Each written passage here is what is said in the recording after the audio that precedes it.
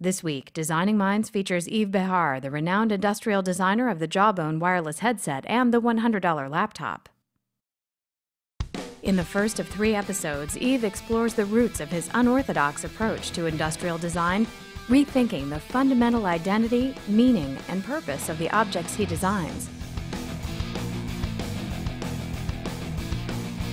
I'm Yves Behar, and I am on Design Minds.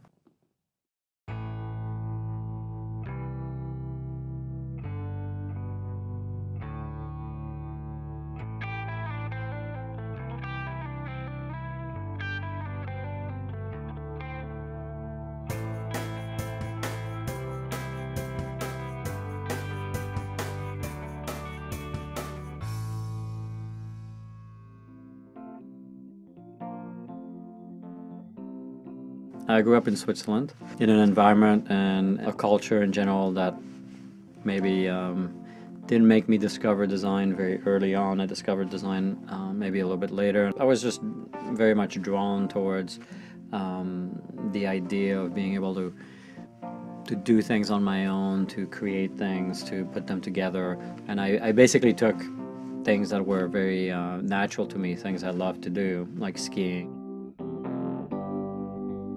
windsurfing. And combine them, for example, into this windsurfing on ice or on snow. The combination of skiing and sailing or windsurfing on snow was actually quite successful, maybe too successful because it was going really fast and it was really dangerous. And it was something probably that I realized that I probably should go to school to do this right.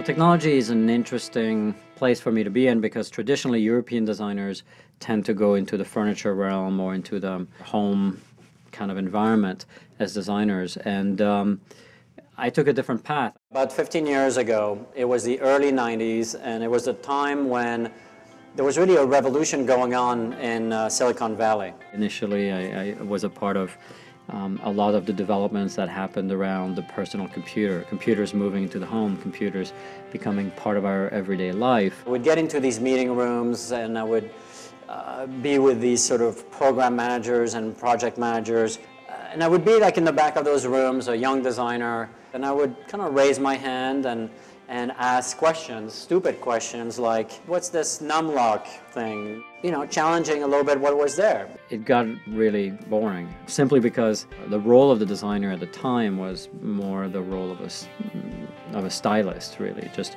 making boxes pretty, but what was on the inside is basically the same or very much the same.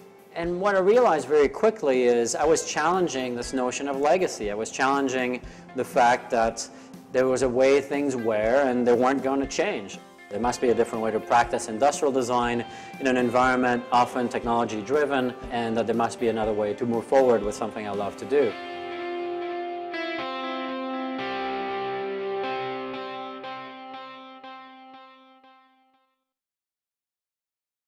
Essentially what I was interested in is to work on things that were meaningful projects that would be a lot more than the surfaces. I took this notion of technology and tried to apply it to um, everyday products, apply it to um, um, products that could just adjust or adapt to our lives. Some of the first projects we did were you know, really simple, but they used technology in a new way.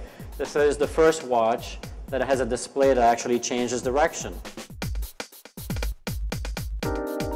Can check the time discreetly here as I'm talking to you without, you know, the whole sort of um, gesture. Here's another project about transformation. This was done with Swarovski. We did several years of work with them where we just experimented about what is the future of crystal. Crystal is really a material a few years ago that any person who is modernist or contemporary would not touch with a 10-foot pole. You know, it's a material anchored in classical decorative elements. And what Nadia Swarovski did is she invited these designers from around the world to really rethink what the material is, how it can be used, and how it can create new effects. Morpheus chandelier, as we call it, changes shapes. You install it once, and contrary to chandeliers, which typically just collect dust over a period of 50 years, you just have to draw it on, on a computer tablet and the whole piece just transforms to a square, a circle, a heart, whatever you want to draw on there. Transformation and change is something that technology can give us, um, but always in a way that really addresses the human, not so much in a way that um, that gives us bigger hard drives.